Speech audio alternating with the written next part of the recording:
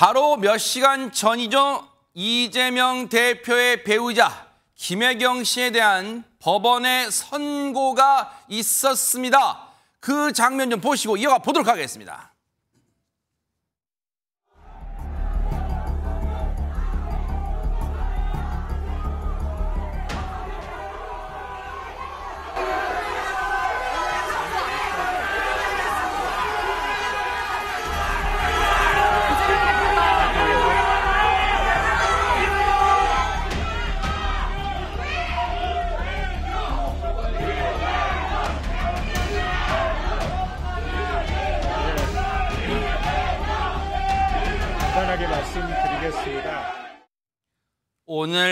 보신 것처럼 이재명 대표의 부인 김혜경 씨가 법원에 출석했고 나오는 모습까지 보여드렸는데 제가 앞서 말씀드렸죠.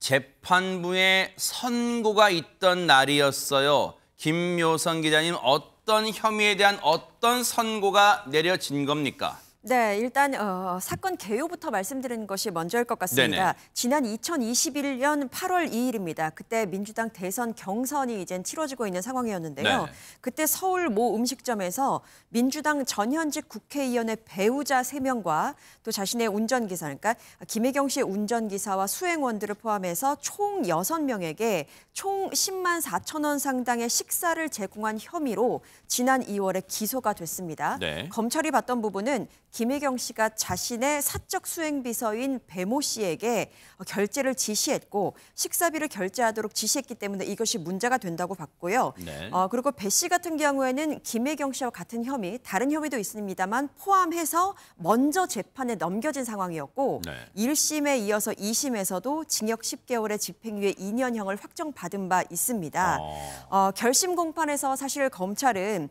김혜경 씨가 이재명 대표의 그러니까 당시 후보자 당선을 위해서 유력 정치인들을 돈으로 매수하려고 했다. 금액과 상관없이 이것은 죄질이 중하다라면서 벌금 300만 원을 구형했었습니다. 네. 반면에 김혜경 씨 같은 경우에는 법인카드 결제 사실을 전혀 몰랐다라면서 전면 무죄를 주장했었죠. 네. 근데 오늘 1심 재판부의 선고 내용은 네. 김혜경 씨에게 벌금 150만 원을 선고한 것으로 그렇게 결론이 났습니다. 벌금 150만 원 선고. 이 말인즉슨 허주현 변호사님 죄가 있다고 본 거 이게 이게 이 행위가 죄가 죄가 있다고 본 건가요 어떻습니까? 그렇습니다. 김혜경 씨가 이 지금 이미 동일한 사실관계로 유죄를 선고받은 이 경기도청 공무원이었던 배모 씨와의 순차적이고 암묵적인 의사 협의 아래에 이 부분 모두 알고 있었고 충분히 인식하고 있었기 때문에 기부 행위가 인정이 된다. 그래서 공직선거법 위반으로 150만 원 형이 선고가 일단 아, 1심에서 된 겁니다. 네. 형량 자체만 놓고 보면 아주 이례적이진 않습니다. 검찰 구형량의 절반 정도였고 양형 기준으로 보더라도 기본 형량이 기부행위 금지 같은 경우에는 벌금 기준으로 100만 원에서 500만 원 선인데다가 네. 지금 10만 4천 원이라는 금액이 상당히 비교적 경미한 금액인데다 초범이고 이런 부분들이 반영이 돼서 형량 자체가 이례적으로 높거나 낮게 선고된 사안은 아닌 걸로 보입니다. 네. 다만 말씀드린 것처럼 지금 이 자리는 아, 그때 당내 경선 초기, 캠프 결성 초기에 뭔가 식사비 각자 부담의 원칙이라는 것이 정확하게 지켜지지 않고 있던 상황에서 동석자였던 신 씨가 김혜경 씨에게 국회의원의 배우자들을, 그러니까 이재명 성- 대표의 앞으로의 선거에 도움이 될 수 있는 그런 사람들을 소개해주는 자리였기 때문에 피고인인 김혜경 씨에게 충분히 이익이 될 수 있는 자리라고 봤기 때문에 범행 동기도 충분하다고 본 것으로 판단이 되고요.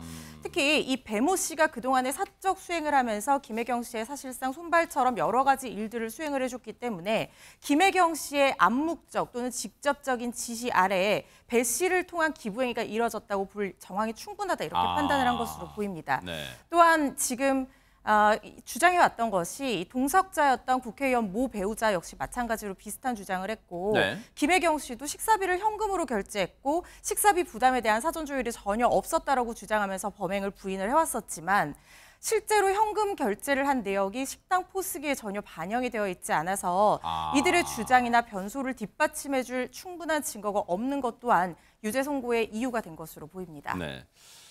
1심 재판부의 결정에 대해서 김혜경 씨는 어떤 입장인지 변호인의 입을 통해서 들어보시고 이어가 보도록 하겠습니다. 잘 아시다시피 공소 사실은 어, 식당에서 10만 원 식사 결제를 의 법인카드 결제를 사전에 김혜경 여사가 알았었느냐 또 상호 공모했었느냐가 핵심적인 쟁점입니다. 그리고 재판부도 인정했다시피 공모했다는 당일 공모했다는 직접적인 증거는 어디에도 없습니다. 어, 피고인이 당연히 알지 않았겠느냐라는 결론으로 말하면 그런 추론에 의한 추측에 의한 유죄 판결이 아닌가라는 생각이 듭니다. 항소심에서는 소위 검찰이 정황이라고 주장했던 부분에 대해서도 하나하나 밝혀서 어, 진실을 밝혀나가도록 하겠습니다.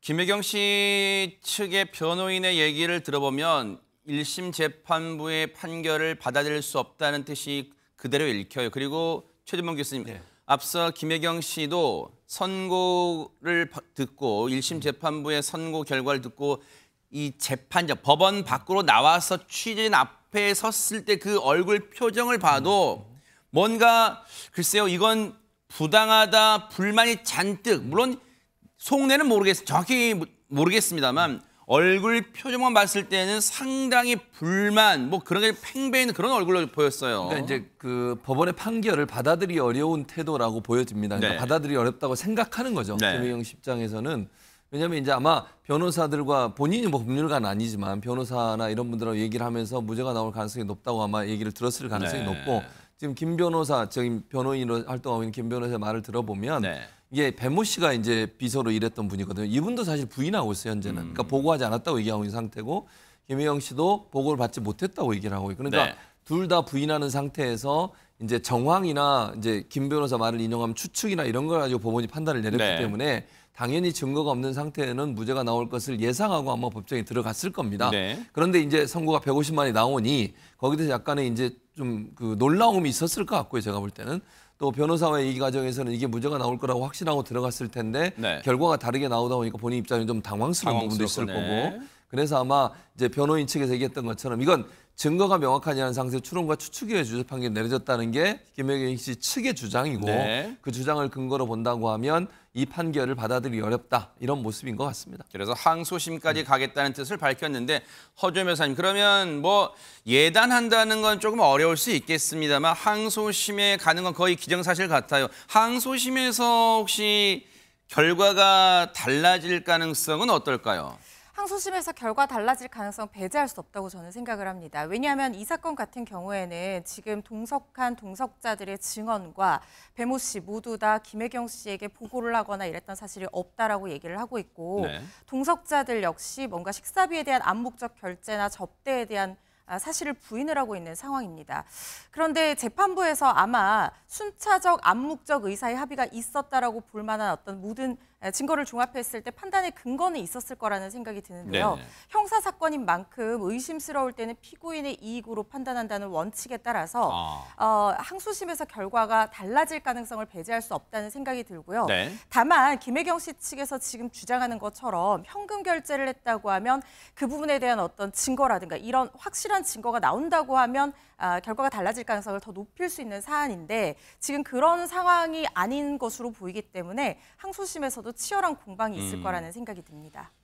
김혜경 씨에 대한 일 재판부 1심 선고 이후에 앞서 이제 법원에 들어가기 전에도 김묘성 기자님 뭐 법원 앞이 시끌시끌 했잖아요. 근데 선고가 이루어지고 나서 법원 앞이 더 소란스러웠다 이런 얘기가 들려요. 네, 그렇습니다. 뭐 진보 보수 가릴 것 없이 정말 많은 사람들이 이 수원지법 앞에 모였는데요. 네. 어, 진보 지지자나 뭐 유튜버 같은 경우에는 김혜경은 무죄다, 김건희를 구속하고 특검하라, 뭐 이런 이야기 고함을 지르기도 했고요. 네. 반대로 보수 단체 지지자들 같은 경우에는 이재명을 구속해야 한다, 뭐 김혜경 구속이라면서 일대 혼란이 빚어지기도 했습니다. 네. 어, 여당에서도 그 판결 직후에 바로 반응이 나왔습니다. 어, 송영훈 국민의힘 대변인은 논평을 통해서 김 씨에 대한 그러니까 김혜경 씨에 대한 공직선거법 위반 유죄 판결은 사필 규정이다라고 정리를 하면서 네. 이재명 대표 또한 경기도 법인카드 유용 의혹 전체에 대한 법의 심판을 피할 수 없을 것이다라면서 목소리를 높였습니다. 아내가 법원에 출석하는 모습을 바라봤을 이재명 대표의 마음도 그리 편치는 않았을 것 같은데요, 안진용 기자님. 네, 이재명 대표는 선고 직전 법정으로 가는 아내라는 글을 직접 올렸습니다. 아. 그 내용을 살펴보면은 네. 남편 업무 지원하는 잘 아는 비서에게 사적으로 음식물 신분을 시킨 게 죄라면 죄겠지만 미안한 마음에 음식물 값에 더해 조금의 용돈도 줬고 그가 썼다는 법인카드는 구경조차 못했다고 주장을 했습니다. 네. 아울러 대선에서 패한 후 본격적인 보복 시작이라고 규정을 하면서 동네 건달도 가족들은 건들지 않는다는 속설 믿은 나의 상식과 달리 아내와 아이들이 공격 표적에 추가됐고 아내는 희생 제물이 됐습니다. 아, 되- 됐다고 주장을 했습니다. 네. 또한 아내에 대해서 평생 남의 것, 부당한 것을 노리거나 기대하지 않았다면서 어, 재판받는다며 일찌감치 준비하고 나서는 아내를 볼 때마다 숨이 막힌다. 그리고 끝으로 혜경아 죽고 싶을 만큼 미안하다라고 덧붙였습니다. 네. 근데 이제 허준 변사님, 뭐 일각에서는 이제 부, 부부가 일심동체란 이제 뭐 속담 뭐 우리말 그런 걸 인용해서 이제 어 김혜경 씨 오늘 이 1심 재판 선고가 이제 내일은 또 뭐 전 국민이 관심을 둔다 해도 과언이 아닐 이재명 대표의 이제 공직선거법 위반 혐의 관련 1심 선고가 있잖아요. 그 재판에도 뭐 영향을 미칠까 뭐 이런 관심을 갖던데 이게 그럴 수가 있나요? 영향 미칠 수가 있나요? 사실관계가 다른 부분이기 때문에 오늘의 선고가 내일의 선고에 영향을 미칠 가능성은 거의 없다고 보셔도 될것 아. 같습니다. 다만 이재명 대표에게 지금 직접적으로 이 오늘의 선고가 영향을 미치지는 어, 않겠습니다만 간접적인 영향을 줄 수 있는 사건들은 아직 남아 있다는 생각이 듭니다. 일단 공직선거법상 지금 배우자가 300만 원 이상의 형을 선고를 받으면 당해 선거에서 이 선출직 이 당선 무효가 나오게 되는데요. 지금 300만 원 이상도 되지 않은 데다가 당해 선거는 대선 후보 경선이었기 때문에 사실상 이재명 대표가 대선에 선출이 되지 않은 이상 이 직접적인 영향을 어, 뭐 직에 있어서 직접적인 영향을 미치지는 아. 않을 거라는 생각이 듭니다. 네. 그렇지만 이재명 대표가 아직 수사를 받고 있는 혐의가 있습니다. 김혜경 여사와 함께 같이 지금 수사를 받는 부분이 바로 경기도 법인카드 유용 의혹인데요. 지금 오늘 선고가 나온 그 내용이 좀 한 가지 좀 주목해야 될 점은 지금 일종의 기부 행위를 했다고 판단된 이 그 결제 방식이 개인 돈을 썼어도 문제가 될 수 있는 사안인데 그때 당시에 결제할 때 경기도청 법인카드를 이용했단 말이죠. 그런데 지금 두 사람이 경기도청 법인카드 유용 의혹으로 수사를 받고 있는 상황인데 똑같이 이 부분에 대해서는 보고를 받지 않아서 몰랐다라고 지금 주장을 하고 있, 이- 있는 상황이거든요. 그런데 지금 1심 판단에서 이 부분에 대해서 순차적 암묵적인 합의하에 배모 씨를 통해서 기부 행위를 했다. 그리고 그 수단이 바로 경기도청 법인카드를 사용했다라고 하는 것은 네. 간접적으로 경기도청 법인카드 유용 의혹에 있어서도 김혜경 씨와 이- 이재명 대표가 이 부분에 대해서 알고 있었다라고 판단될 가능성을 높이는 결과가 될 수 있거든요. 물론 이게 아직까지 1심 판단이어서 어떻게 될지는 좀 지켜봐야 네. 되겠습니다만 이재명 대표에게 간접적으로 불리한 영향을 미칠 수 있는 내용이라는 생각이 듭니다. 이러다 보니까 한간에서는 세간에서는 이재명 대표 부부에게 참 뭔가 고난의 11월이다 뭐 이런 얘기도 나와요. 왜 그런 거예요? 아무래도 이제 이재명 대표 관련해서 네 건이 재판이 이루어지고 있는 상황이고 김혜경 씨에 대해서 이번에 이제 재판이 이루어졌잖아요. 이게 이제 검찰이 이재명 대표 김 어, 김혜경 씨 두 사람에 대해서 계속 이렇게 기소를 하는 거 이게 이제 여러 가지 논란을 불러일으키고 있잖아요. 뭐 양측이 다 뭐 여야가 각각 다르게 분석하고 있긴 하지만 이재명 대표 입장에서는 상당히 힘든 거죠, 사실은. 재판을 네 번을 일주일에 네 번씩 재판을 받는다고 하는 것은 업무에도 상당히 큰 지장을 줄 네네. 만큼 그렇게 어려운 문제이고 이제 다만 뭐 허준 변호사 설명을 했지만 어, 김혜경 씨 관련된 이 재판과 이재명 대표 직접적인 연관성은 없기 때문에 크게 영향을 미칠 요소는 아니고 또 본인의 직에 대해서 뭐 국회의원직을 상실하나 이럴 수 있는 요건이 안 되기 때문에 이건 문제가 없다고 보여지고요. 다만 이제 내일 이루어질 선고는 이재명 대표 직접적인 연관이 있는 선고입니다. 특히 이제 공직선거법 관련된 선거기 선고기 때문에 어떤 경우가 나오느냐가 초미의 관심사가 될 수밖에 없고 네. 그래서 오늘 재판도 많은 사람이 관심을 갖지만 사실은 내일 재판에 온 국민의 관심이 집중될 수밖에 없고요. 음, 네. 이 재판의 결과 물론 이것도 1심이기 때문에 3심까지 가야 되는 거지만 그럼에도 그렇죠. 불구하고 네. 내일 재판의 결과는 상당히 정치권에 큰 파장을 불러올 수 있는 어떤 경우가 나오든 네. 양측에게 치명적일 수 있는 그런 내용일 어, 나올 가능성이 높다 이렇게 보여집니다. 네. 자, 어쨌든 뭐 사법 리스크에 이제 이재명 대표에게 있어서 사법 리스크 첫 관문이 내일인데 내일도 저희 뉴스파이트도 눈 부릅뜨고 따라붙어 보도록 하겠습니다.